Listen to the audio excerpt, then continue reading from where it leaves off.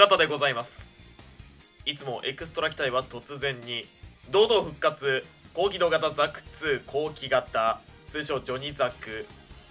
ただ復活したわけではなくもう元々出てるバーチやガンキャノンみたいにいろいろ新要素引っ提げての参戦ということで軽くまとめますとまず一つに動画の最初でやってた特角特角派生。さらにスピード上げて特殊移動するやつと2つ目に前特殊の追加。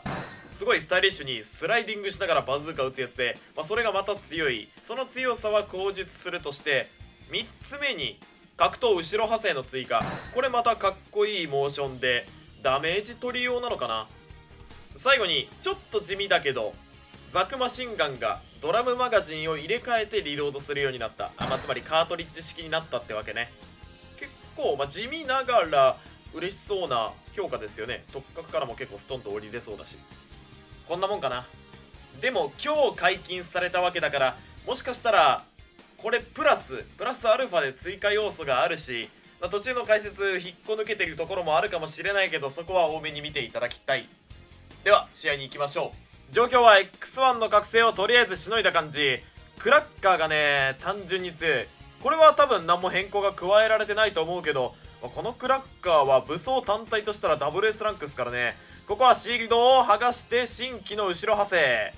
さらに前特殊の射撃すり抜け効果を持つスライディングバズーカ。これがね非常に頼りになるというか全然すり抜け狙っていける感じ。あと上下に重厚補正がいいのかな。すごい当たりやすいね。ここは黒ボに襲われてウィップ引き寄せからの横サブで残り体力4145くらいだったよね。減らんもんだな。X1 火力もお仕置きを受けている感じがストフリーにメインのマシンガンをこすりつけようとしたらフルバーストで落ちてしまった。覚醒はあるもののコストオーバーで残り体力300ちょっとまずい状況になってきたぞ。相方も食らってちょっとカットに行きたい。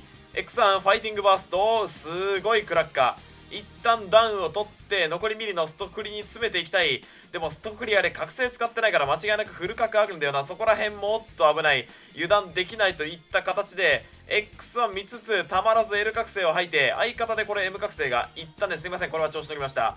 相方のカットがあってとりあえずダメージを食らわずに済んだが一緒に攻めたい特角特化せで近づいてサブが炸裂するがさすがに抜けられた。ちょっと危ない感じですごい際どい前特者すげえ当たり方したな。打ち方が強いんだよね。前に行きながらバズーカを打つってのが。それ加味しても最後の当たり方結構やばかったけどね。はい次行きましょう。あともう一つ大事なジョニーザクの変更点があった。顔グラ。イケメンかっこいい顔がいい嫌いじゃないわ。しかしまあ最初はなんかすごいちょっとがたいのいいおっさんだったのに世間が望めばこう井上和彦さんボイスの爽やかな好青年になれる。可愛いも作れるし若返りもできる。すげえ読んだから。あとデフォルト BGM が赤い彗星なのもちょっと皮肉効いてて俺は好きだよ。では試合見ていきましょう。まずはレジェンドダウンさせたところで置き攻めしようかと思ったらスパイクまず避けて特角で近づいていく、まあ、特角本当移動手段としてすごい優秀いいですね。レジェンド上からクラッカーは当たらずだがバズーカは当たる。ひどい射角とりあえずシナンジを追うかレジェンドを追うか。ダメージレースは勝っているのでまだ様子見でいい感じか？相方のガンイージーが覚醒が溜まってそれに合わせてこっちも一緒に進軍していく形か相方覚醒してシナンジを落としてくれたのもでかい。レジェンド1回ダウンさせてレジェンドを相方にちょい任せてシナンジュこれは下への重厚補正が非常に強烈。そっから新規の後ろ派生。いいかっこいいぞ。結構ダメージ出るんだよね。トレモで特角 N で打ち上げて N 下派生で264だっけ？それぐらい叩き出してたからもう本当にダメージ取りようって感じだと思う。まああとはねその俺はもともとジョニーザク使いじゃ、まあ、ご存知の通りないのでどれがどうこうしてダメージが出るかわからないんで、まあ、そういうにわかジョニーザク使いの皆さんは後ろ派生をしておけば間違いないんじゃないでしょうか。ここは覚醒 L 覚醒して相方に覚醒を譲渡。主楽隊が守ってくああいっちまった。まずシナンジュとのタイマンうまく下に潜り込んでクラッカーからの後ろ発生。ドン。これ何やってんだろう？一回くるんってしてショルダータックルからの右足蹴りって感じかな。すごいスタイリッシュかっこいい。さあ3試合目どんどんいくぞ。お相手 XS100 式。XS は東震祭でも結果を出したスライムくんの XS ガンダムですね。今度してほしいからアポ取りに行くからね。ということでまず XS を追おうとするが100式のゼータが怖い。気を取り直してなんとか詰めていきたいがインコムで足止めを食らってしまう。そこからクレイバスーカカスクさんからのビームをしっかりつなげられてあまり100式は相手にしたくないが XS まあ XS 戦は本当にちゃんと見なきゃいけないっていうのが課されてるからまあ、その辺り難しいよね。まあ、でもジョニー・ザクだと全然終える性能していると思いますので、相方ちょっと100式見てもらい、XS に行く形としたいが、どうしても後ろの100式が気になる。まずはちょっと怠慢するか、100式と。相方がちょっと食らっているので、クラッカーでカットしてからの、イクセスに行きたいサブ2発避けて、リフレクターインコもはこっちじゃなかった。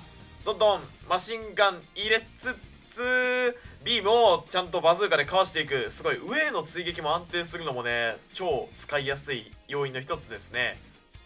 さあ、主落隊が守ってくれる中、ブナダクラッカーからのバズーカで一旦手堅くダウンを取ってあとちょっとで覚醒が溜まって、まあ、1000号2000先落ちしてはいいとはいえまあやはり1000号の後に落ちたいよね L 覚醒が溜まって L 覚醒を吐いて相方に譲渡してさすがにそれはねすり抜けられないな L 覚醒沈覚してしまってよろしくない。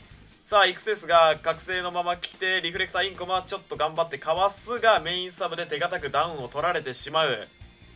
しかし XS 行くという使命は変わらずクラッカーからの後ろ派生ちゃんと落としきってかっこいいね。かっこいいしか言ってないけどかっこいいんだよ実際。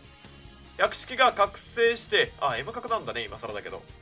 おわゼータからの XS のビームで残り体力292百式のメガバズーカランチャーのせいで主楽隊の皆さん全員お亡くなりになってちょっと劣勢か XS 減らしに行きたいが百式見てもいいな。百式東大からの右には XS の狙撃ビーム避けれるはずもなくだいぶまずいことになったぞ。スライディングで避けるが再び XS にちょっかいをかけに行く。すごいお互い覚醒も体力も微妙なところで相方が死んでしまった。このまま俺が死んでしまったらゲームセットのところでまず覚醒を吐いて延命をしよう。相方がこかしてくれて特角派生で爆速で百式の元に向かっていく。相方が復活させてくれてワンチャンあるぞ。一旦補正切りで相方がちょっと体力に余裕があるので少し前線を任せつつスライディング。あのクラッカーは当たらなかった。それが良くないトリガーになって XS の覚醒発動させてしまってサーベルからのつかみで死んでしまったと。あのなバズーカからの追撃ちゃんとしてればイクセス寝かせて100式いけたんだけど、まあ、そこら辺ちょっとちゃんとにわかが出た感じですね。申し訳ない。はい次行きましょう。